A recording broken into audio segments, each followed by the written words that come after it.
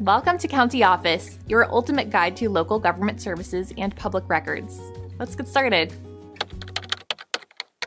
Are county taxes included in a mortgage? County taxes are not typically included in a mortgage payment, but are separate expenses paid directly by the homeowner. These taxes are assessed by the local government based on the value of the property and fund various public services like schools, roads, and emergency services. It is essential for homeowners to budget for these taxes separately from their mortgage payments to avoid financial surprises. Failure to pay county taxes can lead to penalties, liens on the property, or even foreclosure in extreme cases. Homeowners should stay informed about their county's tax rates and deadlines to ensure timely payments and compliance with local regulations.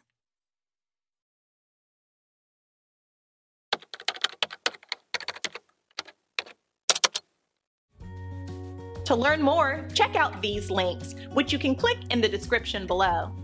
And feel free to comment your questions. We're here to help. Thanks for tuning in to our video. Please like and subscribe and leave a comment below. See you in the next video.